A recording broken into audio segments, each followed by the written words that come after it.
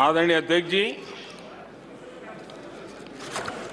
हमारे विपक्ष के मित्रों के फितरत में ही अविश्वास भरा पड़ा है।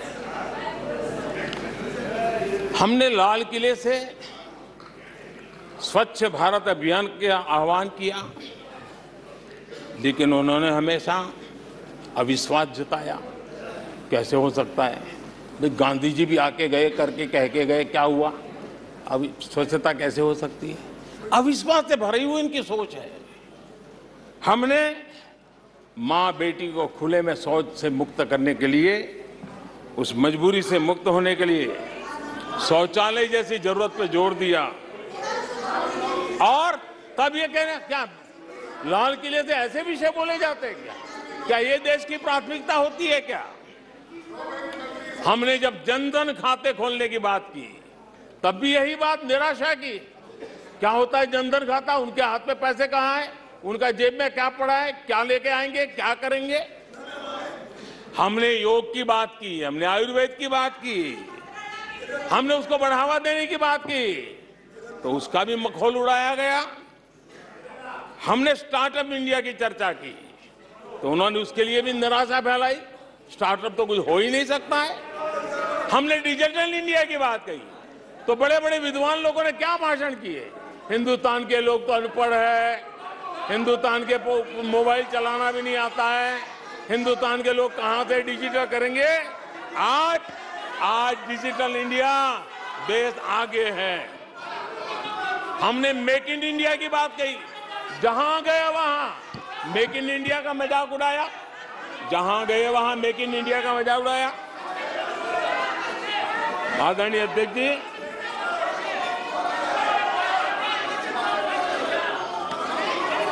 कांग्रेस पार्टी और उनके दोस्तों का इतिहास रहा है कि उन्हें भारत पर, भारत के सामर्थ्य पर कभी भी भरोसा नहीं रहा है। भाषण पूरा नहीं हुआ प्लीज़ अध्यक्ष जी नो और ये विश्वास किस पर करते थे? मैं जरा आज सदन को याद दिलाना चाहता हूँ। पाकिस्तान सीमा पर हमले करता था। हमारे यहाँ आए दिन आतंकवादी भेजा जाता था। और उसके बाद पाकिस्तान हाथ ऊपर करके मुकर जाता था, भाग जाता था, बोले हमारी तो कोई जिम्मेवारी नहीं है। कोई जिम्मा लेने को तैयार नहीं होता था। और इनका पाकिस्तान से ऐसा प्रेम था कि वो तुरंत पाकिस्तान की बातों पर विश्वास कर लेते थे। पाकिस्तान कहता था कि आतंकी हमले होते रहेंगे और बातचीत भी होती रहेगी। इन्हें यहाँ तक कहते भाई पाकिस्तान कह रहा है तो सही कहता होगा। ये इनकी सोच नहीं है। कश्मीर आतंकवाद की आग में दिन रात सुलग रहा था। जलता था। लेकिन कांग्रेस सरकार का काम, कश्मीर कश्मीर के आम नागरिकों पर विश्वास नहीं था। वे विश्वास करते थे हुरियत पर। वे विश्वास करते थे अलगवादियों के पर वे विश्वास उन लोगों पर करते थे जो पाकिस्तान का झंडा लेकर के चलते थे। भारत ने भारत ने आतंकवाद पर सर्जिकल स्ट्राइक किया। भारत ने एयर स्ट्राइक किया। इनको भारत की सेना पर भरोसा नहीं था। उनको दुश्मन के दावों पर भरोसा था। ये इनकी प्रवृत्ति थी। अध्यक्ष महोदय आज दुनिया में कोई भी भारत के लिए अपशब्द बोलता है तो इन्हें उस पर तुरंत विश्वास हो जाता है।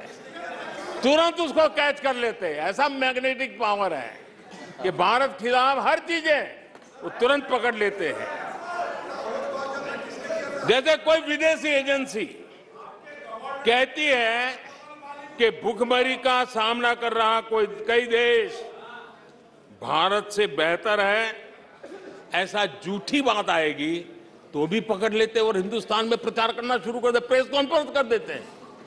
भारत को बदनाम करने में क्या मज़ा आता है? दुनिया में कोई भी ऐसी बेतुकी बातों को मिट्टी के ढेले जैसी जिसकी कीमत ना हो, ऐसी बातों को तवज्जो देना, ये कांग्रेस की फितरत रही है और तुरंत उसका भारत में एम्पलीफाई करना, प्रचार करना, पूरी कोशिश टीम लग जाती है। कोरोना में की महामारी आई, भारत के वैज्ञानिकों ने मेड इन इंडिया वैक्सीन बनाया। उन्हें भारत के वैक्सीन पर भरोसा नहीं, उनको भारत के वैक्सीन पर भरोसा नहीं, विदेशी वैक्सीन पर भरोसा, ये इनकी सोच रही।